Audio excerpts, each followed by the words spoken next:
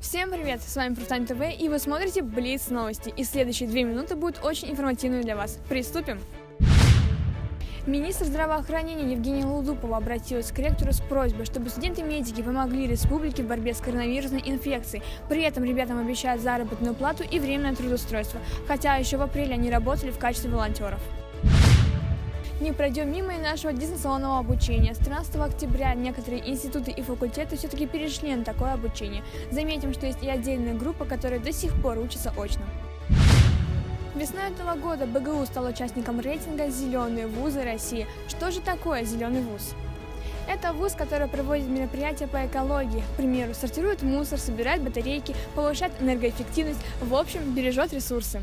Это первый рейтинг высших учебных заведений, который поможет сформировать в студентах экологическую культуру. Всего в рейтинге приняло участие 42 вуза, наш университет занял 19 место. Многие мероприятия оказались сейчас под большим вопросом, чтобы их проводить. Мы будем следить за этой ситуацией, а вам желаем крепкого здоровья и терпения. Пока!